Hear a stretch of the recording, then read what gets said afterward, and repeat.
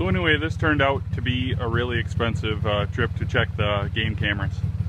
I brought my uh, Samsung something tab 4 something like that whatever um, tablet out here had it in my pocket on my hoodie.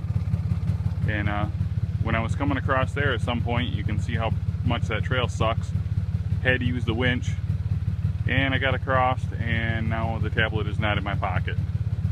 So it's in that somewhere so we'll see on the way back through if I can find it or not I'm pretty much thinking it's a lost cause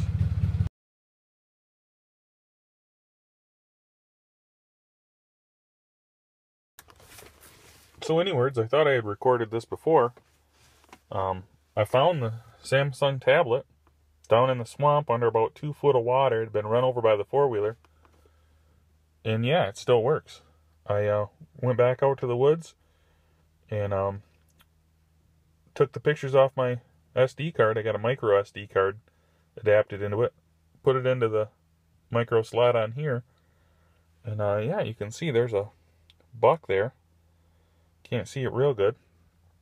But the nice thing is, is look at the time. 10 to 8 a.m. That was this morning. So yeah, they're coming in. Uh, I'm pretty stoked. I thought I'd ruin this. I have no idea how this works. It was at least 15 minutes under the water in the swamp. I pulled it out from the mud. I stepped on it with my foot. It was up to my knees in water. Pulled it out and it was still on and working. Put the card in it. Read the pictures. I'm viewing them on it right now. I can't believe it.